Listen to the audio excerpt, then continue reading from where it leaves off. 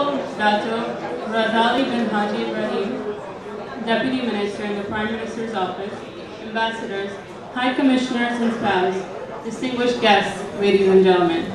It's a great honor to welcome you all for the 98th Independence Day celebration of Afghanistan. My name is Laymat Ahmad and I'll be your MC for the evening. I would like to invite the chief guest, the Honorable Dr. Razali bin Haji Ibrahim, and His Excellency Ambassador of Islamic Republic of Afghanistan, to Atiqullah Rahman to proceed to the podium for the toast. أعوذ بالله من الشيطان الرجيم بسم الله الرحمن الرحيم السلام عليكم ورحمة الله وبركاته and a very good evening. His Excellency Atiqullah Atifmal Ambassador of the Islamic Republic of Afghanistan to Malaysia Your Excellencies, ladies and gentlemen May I invite you to join me in a prayer for the good health and well-being of His Excellency the President the success and the prosperity of the government and the people of the Islamic Republic of Afghanistan.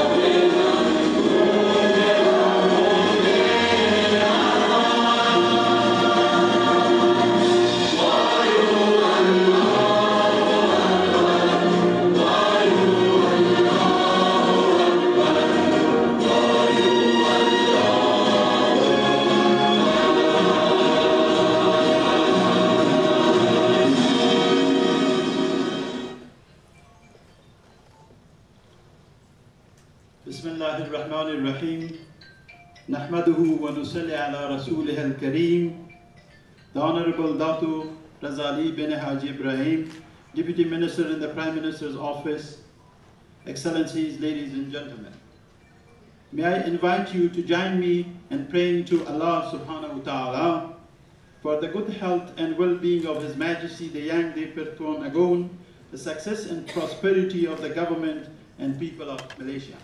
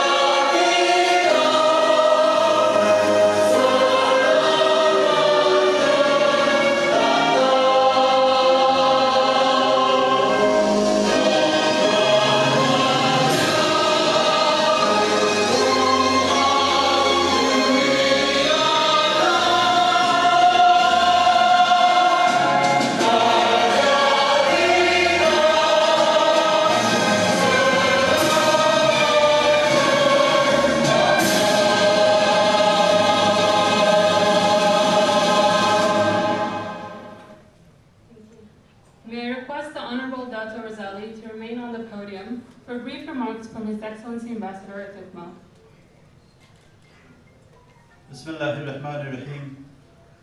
The Honorable Dr. Razali bin Haji Ibrahim, Deputy Minister in the Prime Minister's Office, Excellency Ambassadors, High Commissioners, Honorable Professors, dear representative of the government and private sectors of Malaysia, my fellow Afghans, distinguished guests, ladies and gentlemen, Assalamu alaikum wa rahmatullahi wa barakatuh. It gives me enormous pleasure to welcome you all to the celebration of the 98th anniversary of Afghanistan Independence Day. We are honored by your presence and I hope you will enjoy being with us this evening. Before I explain the significance of this special occasion, I would like to pay tribute to each and every one of our brave men and women in the National Security and Defense Forces fighting to protect our country from national, regional, and global threats on a daily basis. Afghanistan, a country that has predominantly been independent throughout its history, had its foreign policy determined by the British Empire for a brief period of its history. 98 years ago, the reformist King Amanullah Khan restored Afghanistan's full sovereignty and declared its independence from the British Empire. He began to introduce deep reforms meant to transform Afghanistan into a modern nation state. Excellency, ladies and gentlemen, over the past 16 years, Afghanistan has endured countless sacrifices in order to move forward and grow as a new democracy. We have had many achievements throughout this time, and each of these achievements has taken us further ahead in the journey. Today, Afghanistan is fighting to preserve and expand the historic gains that have been made over the past 16 years. Some of these gains consist of a new constitution, an elected parliament, freedom of press and speech, women's rights, and numerous achievements in the education, health, and economic sector. Afghanistan now has the highest number of women serving in senior government positions, including four cabinet ministers, nine deputy ministers, four ambassadors, and a governor, among many others. Overall, 28% of Afghanistan legislative is composed of women. Looking at the education sector today, over 9.5 million children are attending school on a daily basis. With 3.5 million of them being girls. Figures unthinkable 16 years ago and impossible without the support of international community.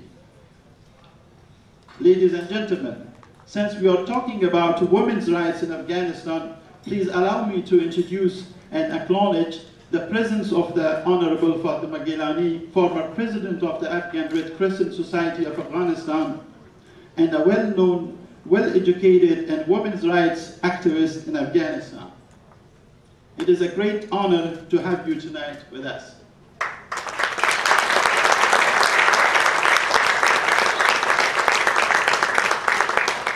Excellencies, ladies and gentlemen, Afghanistan's unique geographical location makes it an important link between South and Central Asia. It is also brightly endowed with natural resources that could pave the way for its economic growth. The latest survey shows that the country holds up to 3 trillion US dollars in proven untapped mineral deposits, which could make it one of the richest mining regions in the world. Afghanistan desires to deepen its economic ties with all nations of the world, and specifically we view Malaysia as a potential partner to realize our economic aspirations. In May 2017, Afghanistan Embassy in Kuala Lumpur, in collaboration with MITI, MATRADE, MIDA, and MCCM, and their counterparts in Afghanistan, organized the first Afghanistan Malaysia Business Forum.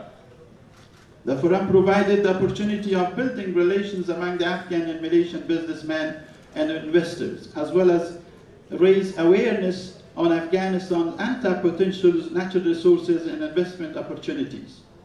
During the forum, on an MOU was also signed to establish Malaysia-Afghanistan Business Council for strengthening the trade relations. Afghanistan is an export destination with massive opportunities in the sectors of palm oil, electronics, and chemical products, including optical and scientific equipment. The Afghan government greatly welcomes the participation of the Malaysian investors in Afghanistan's mining, agriculture, agro-processing, the development of infrastructure, and the information technology sectors, which are enjoying 100% ownership of the investments, including the long-term lease of land for up to 100 years.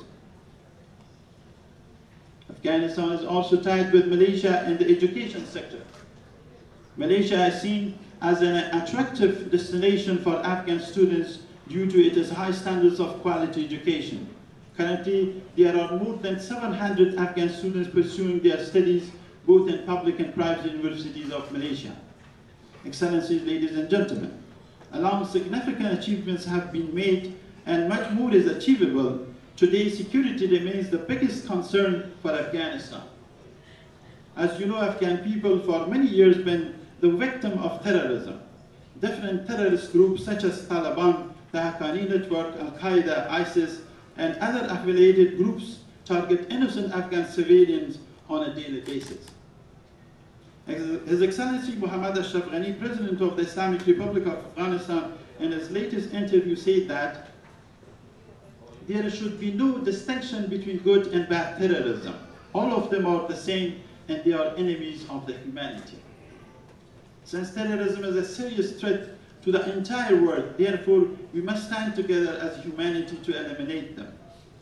And this, of course, is possible with a firm decision, clear policies, close cooperation of all countries. Honorable Minister, with your permission, I would like to say a few words in a beautiful language of Malay. I hope I manage to pronounce it correctly. Yang berhormat, saya ini mengucapkan ribuan terima kasih. Wadif-dif terhormat serta hadirin dan hadirat sekalian. Kerana sudi memeriahkan majlis ulang tahun kemerdekaan Afghanistan yang ke-9 ini. Saya juga berharap Anda semua akan terhibur pada malam ini. Sekian, terima kasih.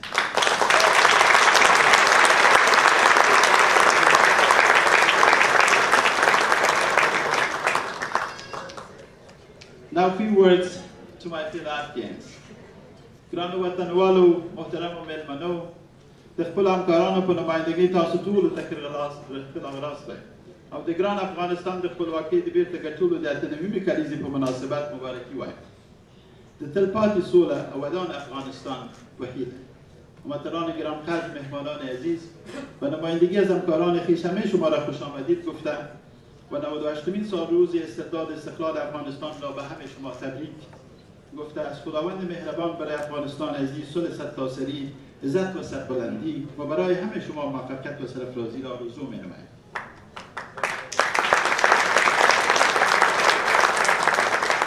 Ladies and gentlemen, I would like to thank our sponsors, Sarafia Natural Resources, Momen Industry, and Artco for their generous support which contributed to the success of this event.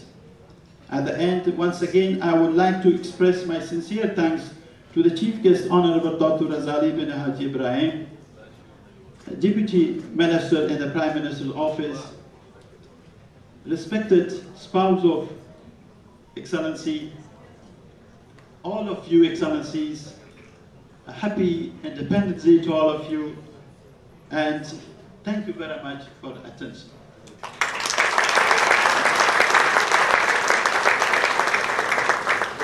May I request His Excellency Ambassador to present the, the Honorable Dr. Razali, the Afghan souvenir. I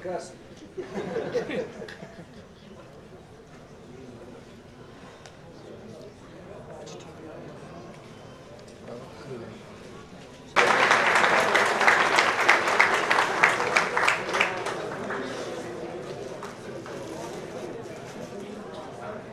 like to invite the Honorable Dr. Razali and His Excellency Ambassador Fitmo to proceed for the cake cutting ceremony.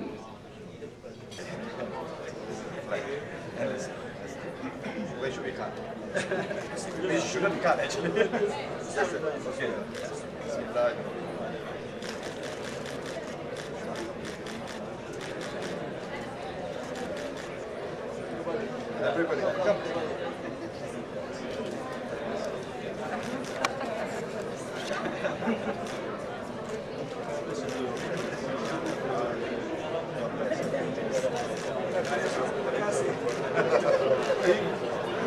Pronounce it very well.